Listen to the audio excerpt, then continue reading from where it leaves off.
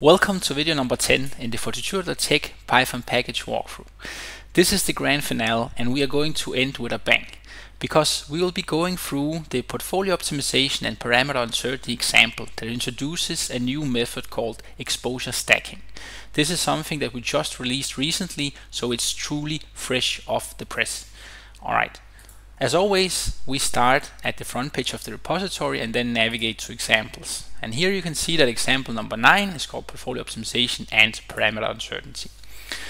It is the accompanied code to an article which is also called Portfolio Optimization and Parameter Uncertainty. And let's actually start by going into that one and then see what it contains. So here we will open it in our browser and then just go through some of the sections.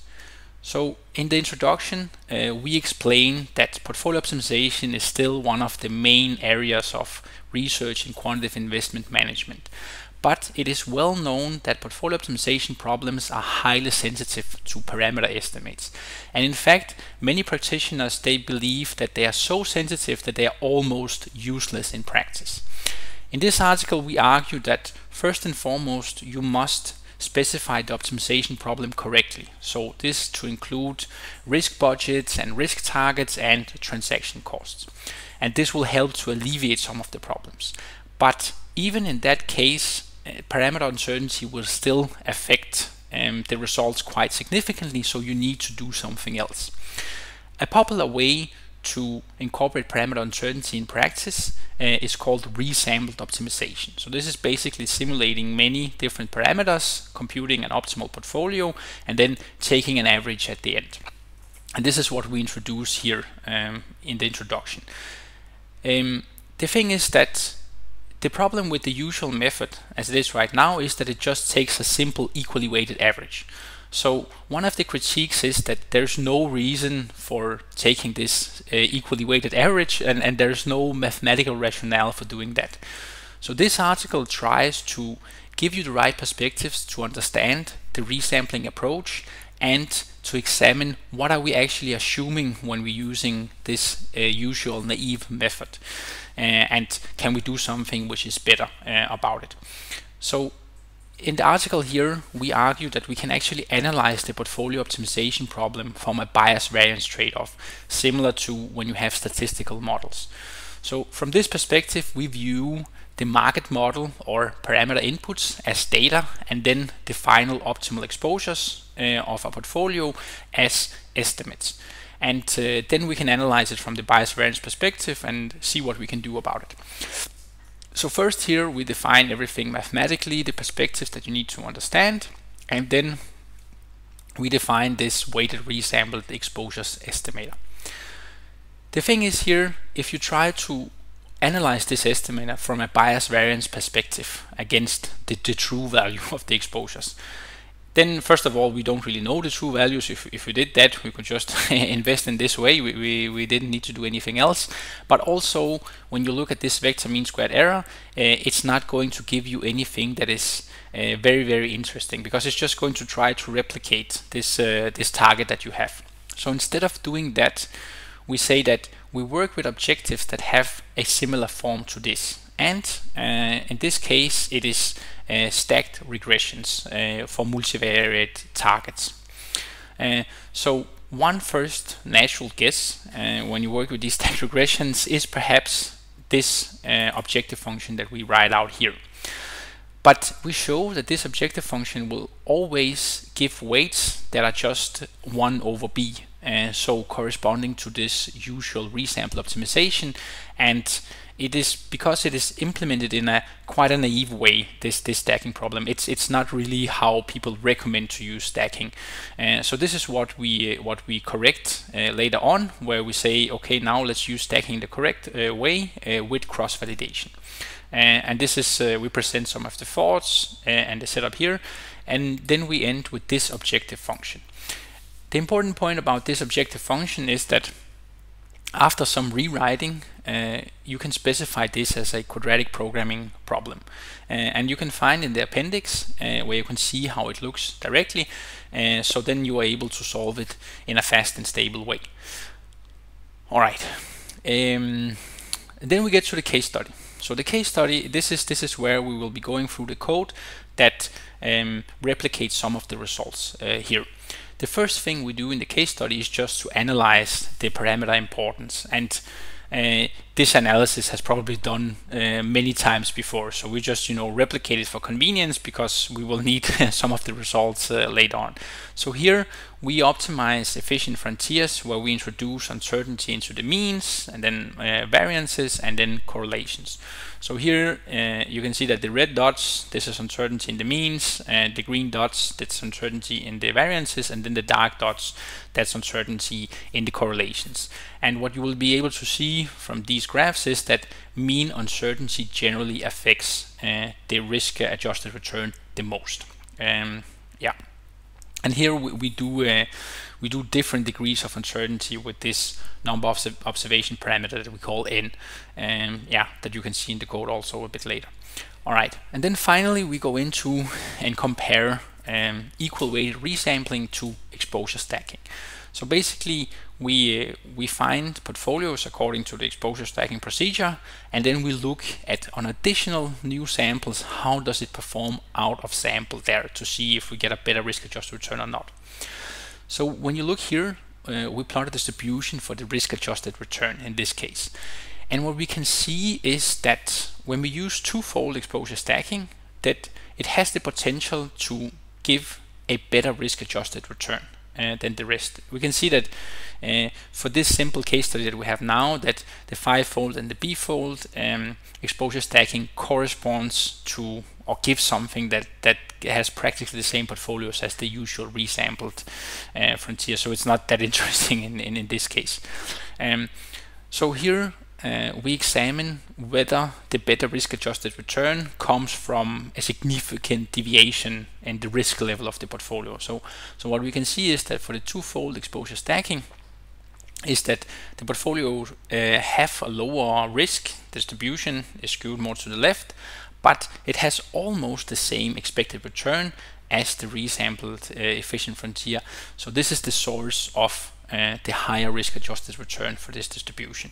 We can see that for the Frontier portfolio, the, both the risk and the return targets uh, are deviate quite significantly from the resampled version. Uh, we can also see that we cannot just say that um, the, the, the, lower the number of folds, uh, the, the lower the risk, because we can see that five fold has a higher risk than the B fold, for example. So, um, so yeah, we can't we can't make that conclusion yet. All right. So here and the conclusion of uh, this article is basically telling you that now we have presented this framework, we have presented these new perspectives. It's too early for us to conclude which effect it will have in practice in terms of the risk adjusted return. The only thing we show that it has potential and it seems that it's not going to perform worse than uh, just equal weighted uh, resampling. So this is why we encourage you to really, really try to use this method extensively in different uh, cases, different risk measures, different parameters, uh, yeah, and report back to us what you find, um, because yeah, we will be very interested to hear about that. All right, let's go back to the code and then uh, then see um, how we generated the plots. So yes, uh, in this code uh, we use many different packages uh, that, that we import here. So we do optimization, plotting, and things like that. But we work with the parameters that we have been working with before uh, in the comparison of mean variance and mean CVAR optimization uh, and just uh, use this function load parameters. Then we compute uh, the volatilities and the correlations because this is something that we'll be needing um, later on where we um, yeah, introduce uncertainty into different parameters. Uh, here we just specify a portfolio with long only constraints and this is quite straightforward. And then here we have uh, these parameter uncertainty specification and resampling parameters. So basically you can adjust these and then change um, yeah ch change these parameters and then, then see what the results are and you can also adjust how you introduce uncertainty and all of that uh, in this case uh, here we just uh, estimate this base case frontier that we use uh, in the plots uh, just to see what is the correct version on, on this data. Alright, so when we analyze this parameter uh, importance, uh, then yeah, basically you should imagine that we sample a lot of expected return vectors and then we input that as the expected return in the optimization while we keep the risk fixed. In the next cell here, we will keep the returns fixed and the correlations fixed and then just introduce the uncertainty and volatilities. And then finally we will keep the volatilities and the returns fixed while introducing uncertainty in the correlations. If you go through this code and if you look at how we have implemented the optimization, you should be able to see that this is what happens. And then finally we make uh, one of the plots uh, from the article, so you can see that the last plot we did was with n equals to 100, uh, but you can go up in the code cell and then change it to something else. Uh, so you can see that you can, if you can replicate the n equals to 50, for instance. Okay, here we have some additional plots, and this is basically to to give you a sense of how much uncertainty are we introducing in the means with the different observations. So basically, we know this result uh, for for the sample mean uh, that it will have a variance which is uh, yeah uh, a tenth of uh, of the variance uh, of the the actual distribution if we have n equal to 10 for example so you can see the blue curve this is the, this is the simulation for the DM equities while uh, the orange curve, this is the mean uncertainty if you use 10 observations, the green curve is if you use 15 observations, and then the red curve is if you use 100 observations. So it's really up to you when you look at, at these things and then say, okay, uh, is this is this the amount of uncertainty uh, that I think there will be in the mean estimates uh, that I have or not? Okay, so here, uh, next up, we uh, we just analyze some convergence of when is it that these resampled optimization actually start to give us uh, portfolio exposures that that um, yeah are quite stable. Uh, so here, uh, the efficient frontiers we we have made they uh, they use nine portfolios. So when we select index 4 uh, in Python, then this is just the middle portfolio that we work with for the rest of the example. And here we just show you from the usual frontier how um, yeah, the middle portfolio looks, and then you can see it's the last four assets that have the most weight. So this is the one where we'll be tracking uh, how their weights developed in resample optimization uh, because they are the largest. So this is what you see here. Um, where you can see that a number of bootstrap samples and then the exposure value uh, for the for the highest four exposures that we have here. So what we can see here is that after approximately 200 or 300, 400, it starts to converge to something. Uh, and if you use maybe 500 observations, then then you are quite safe in relation to whether they have converged uh, or not. Um, but of course, this is just for the simple case for few assets. So if you have a more complex problem, uh, you might need more simulations. We say that uh, if we if we have thousand, then usually this is sufficient. Um, yeah, for the problems that we have seen at least. But it's really up to you. The trade-off between computation time and um, accuracy, uh, you you you have to decide for that. All right. So next we'll uh, we'll go and uh, define an exposure stacking function. And uh, in this function, we allow you to specify the L fold, uh, the L parameter, and how many of the bootstrap samples you want to use. So this is something that we will do later to see, yeah, if we take the first 100 samples, 500 samples, yeah, to see how the, the estimator behaves. Um, it implements equation 4 uh, in the last appendix uh, from the article. Uh, so when you read through the code, you should be able to recognize that. Uh, it's a special case where all the validation sets have equal size. Um, okay. So here we just call the function compute uh, these different exposure estimates um, and then we we compare it uh, yeah, in one table.